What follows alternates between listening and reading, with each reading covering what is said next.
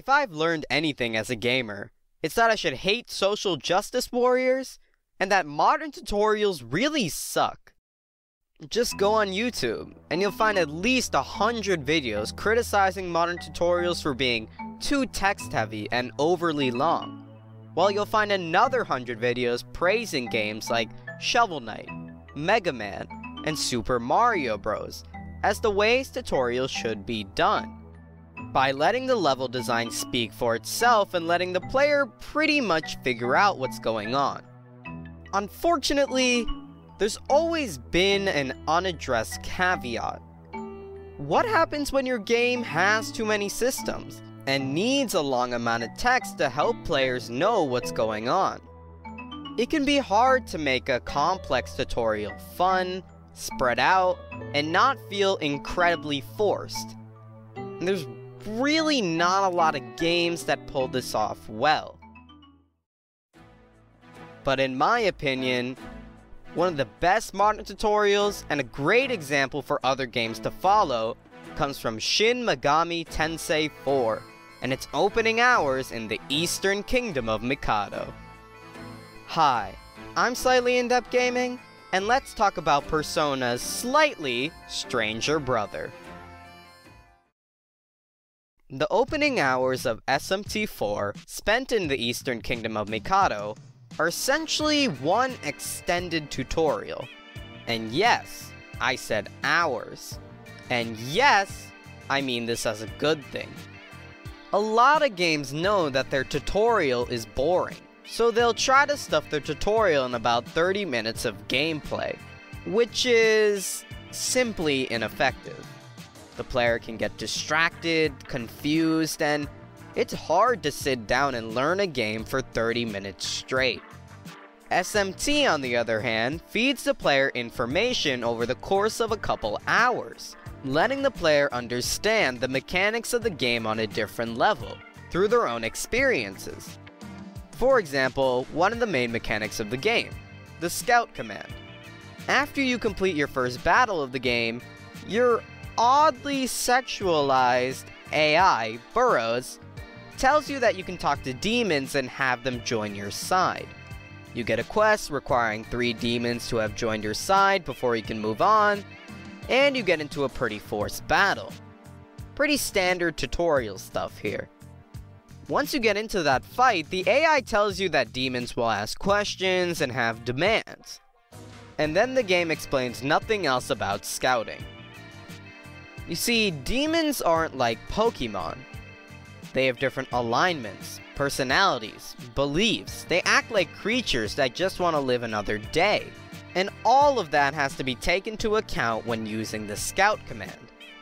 Even if you answer a demon's questions the right way, it's not even guaranteed they'll join your side. When I did this quest, it took me a bit. Because I had one demon ask for a bunch of items, then run away when they took as much as they could, and another one wrecked my team because I answered a question the very wrong way. The game needed text to explain the mechanic, but the player was able to discover the depth of the system on their own. This tell, then show style permeated throughout the tutorial of SMT4. The game tells you about Demon Fusion, but it's up to the player to figure out how to make demons that use their passed down skills effectively. The game tells you how to exploit enemy weaknesses, but you're not going to get far in the game if you didn't learn how to do it. The game will tell you how to change your camera angle to find hidden passageways, but it's up to the player to find that sign. And don't worry, the player will know how to do this. The final training quest can only be completed by changing your camera angle upwards. Now that's good game design. The game constantly tests your knowledge like this again and again, pitting you against tough demon after tough demon, forcing the player to actually understand the system they were taught about. This is how you do a modern tutorial. And as any good tutorial should, SMT has one final test to make sure the player knows what they're doing, which takes the form as a boss fight at the end of the forest. It's pretty easy if you know what you're doing though. But there's no other boss that could possibly signal the end of the opening hours of the game that truly tests your acquired skills. Okay, let's talk about the Minotaur.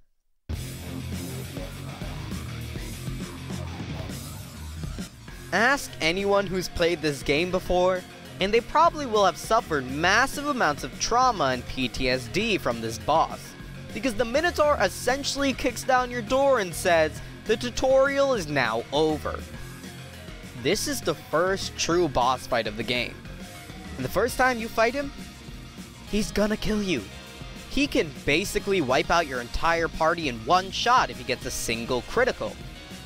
And it might seem unfair. In fact, sometimes it is unfair. But in reality, the game has given you every tool to get past this boss. You start to figure things out. Okay, he's weak to ice and only uses physical attacks, so this demon knocker who can increase your defense and comes with Bufu is perfect for this fight. Unfortunately, you can only have one of any species on your side. And the only other demon with an ice attack you can get is the Centaur. But his MP and magic stat is really low. So you start getting more complex. You fuse until you can create a demon with a high magic stat and MP to use his ice attack. And it goes even further. You can have a demon pass you a skill if it's leveling up in your party. So just have someone with an ice skill level up next to you and bam, your main character can not only do big damage, but he can secure extra turns against the Minotaur. And even once you've used every resource possible to prepare against this guy, it's still not gonna be enough. In the battle itself, you have to decide when to attack, or heal, or buff yourself. Is it worth it to switch one of your demons now to benefit you next turn, or should you use the demon in your party to do damage this turn? It's a beautiful flurry of decision making with unlucky moments and critical hits. And to top it all off, the game tests your scouting skills. The Minotaur will ask you questions which if you answer correctly, will buff yourself up, or weaken the Minotaur. All this combines to be one of the best boss fights in JRPG history, and a great end to a great tutorial. So what's my point here? Why should you care about how great Persona's older, introverted brother is? Well, the fact is that not every game can be Shovel Knight. Tutorials are a necessary evil in complex video games. They sometimes have to use text to break the immersion, because if they didn't, you'd be completely lost. But tutorials don't have to feel forced, or feel like tutorials at all. Give your player the bare information they need through text, and then let them experience the depth of that system by themselves. As odd as it sounds, keep your tutorials longer than shorter.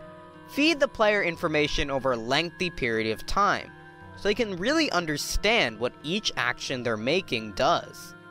Shin Megami Tensei teaches us that even if the tutorial lasts for hours long, if pulled off right, it can feel indistinguishable from the rest of the game. Cause, uh, it certainly didn't feel like hand-holding to me. Okay, maybe I should do less risque humor for this video. Good thing this game has nothing that I could- You're hot stuff, Master. And never mind. Hey guys, so I got two things to talk about, so I'll try to keep it short. First off, thank you guys for 100 subscribers. This is like validation for my work, and it's nice to know that my videos actually have an audience. And it only took me two months, so that has to mean something. As for an 100 subscribers special, I have an idea in mind for a longer video, maybe closer to 17-18 minutes, but it'll depend on whether or not I can come up with a nice script. And secondly, school is starting again. This summer went really quick for me because I was constantly working on the channel, but anyway, since school is starting up again, I really don't know how consistent I can be with videos, so if I miss a week, or two, or three, please bear with me. I'll see you guys next time. Bye!